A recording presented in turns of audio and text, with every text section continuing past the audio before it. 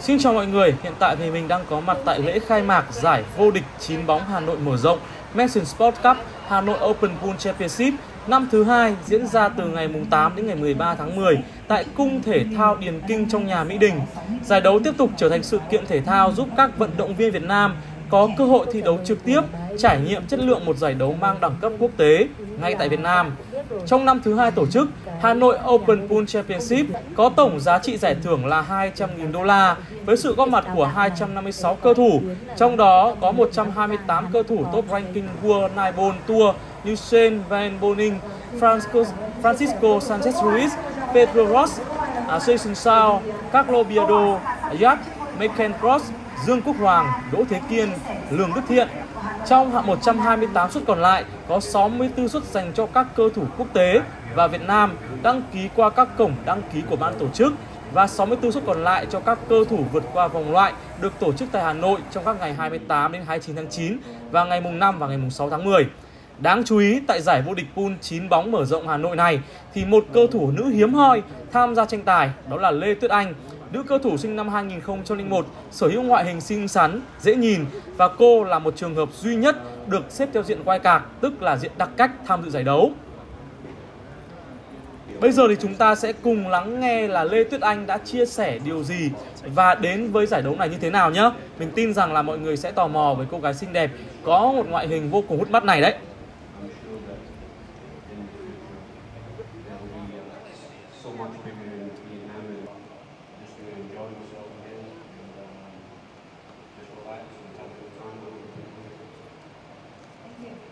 Dạ vâng Ok. ạ. Xin chào mọi người, hiện tại thì mình đang có mặt tại giải bóng giải vô địch pool 9 bóng Hà Nội mở rộng. Lại nhá. Ừ. Ok chưa? Xin chào mọi người, hiện tại thì mình đang có mặt tại giải vô địch pool 9 bóng mở rộng của Hà Nội và đứng cạnh mình là một cầu thủ rất xinh đẹp, cầu thủ à, Tuyết Anh, một trong những cầu thủ nữ hiếm hoi của giải đấu này. À, Tuyết Anh ơi, Tuyết Anh có chia sẻ một chút là đâu là cơ duyên để em đến với giải đấu này không? Ờ, như um, mọi người đã biết thì à, năm ngoái em có làm việc tại ban hậu cần của giải Hà Nội Open và em đã giúp uh, Matchroom trong một vài số công việc về việc giao tiếp với các cầu thủ khác và làm việc ờ, ờ, để cho giải đấu này trở nên một cách suôn sẻ hơn cũng đóng góp một phần công sức nho nhỏ vào đây. Thế nên là năm nay ờ, dù không phải là một vận động viên à, có thành tích xuất sắc tại à, giải đấu quốc gia hay là ở ngoài thế giới, nhưng mà nhờ cái sự đóng góp nho nhỏ đấy mà em đã được à, một vé wildcard vào đây. Nếu mà mình không mang được một cái thành tích to lớn nhưng mà mình mang lại sự tích cực hơn để cho các bạn nữ có thể thấy là ờ, Đây là một môn thể thao mà Ờ. dành cho đại chúng đúng không? Đúng Rất rồi kể ạ. cả phái đẹp cũng như là cả phái mạnh đều có thể tham gia giải đấu này. Vâng. À, anh hỏi một chút là không biết là quay cạc với cá nhân là nhiều người sẽ sẽ tò mò là em đến với à, giải đấu này với tấm vé quay cạc với tấm vé quay cạc là gì được không? Ờ, quay cả tức là vé dành cho khách mời. Theo như em biết thì hiện tại là có 128 suất dành cho dành cho vận động viên được mời tới là những người mà có trong bảng xếp hạng của Matchroom. Còn những tấm vé còn lại thì em không biết là do ban tổ chức mời hay để lại như thế nào. Anh hỏi một xíu với cả Tuyết Anh thôi là cơ duyên em tới như thế nào và kinh nghiệm thi đấu bia của em đến mức độ nào được không? Bởi vì thực sự mà nói thì với tay mơ như anh thì chắc chắn là đối với Tuyết Anh là thua rồi. Nhưng không biết là Tuyết Anh có chia sẻ rằng kinh nghiệm của mình được không? Ờ, hiện tại thì em chơi VR tới bây giờ được khoảng 3 năm ạ. Kinh nghiệm của em ờ, tuy không có nhiều nhưng mà em cũng khá là chăm chỉ luyện tập và chăm chỉ tham gia các giải đấu khác ở trong nước. Suốt 3 năm vừa qua hầu như là lúc nào em cũng cố gắng tham gia nhiều nhất có thể. Kể cả ở miền Nam hay miền Bắc em đều đi lại rất là nhiều để trau dồi bản thân. Và em đến với giải đấu này không phải là để chơi mà em có một mục tiêu rất là rõ ràng. À, cũng là để có thể có một thành tích đúng không? Vâng, À, cá nhân là anh anh tò mò một chút là có thể chia sẻ một con số, tức là Tuyết Anh một ngày sẽ tập luyện bia bao nhiêu giờ? Và trong cả 3 năm đó thì ước chừng một số lượng giải đấu mà Tuyết Anh đã tham gia là bao nhiêu được không? Bởi vì thực sự mà nói thì rất tò mò là không biết là một cơ thủ nữ như Tuyết Anh thì à, tập luyện chăm chỉ thế nào và cũng tham gia bao nhiêu giải đấu để thực sự mà nói các cơ thủ nam cũng phải đề phòng với Tuyết Anh vì Tuyết Anh cũng đợt này tham gia giải đấu này cũng rất là tham vọng mà. Vâng ạ.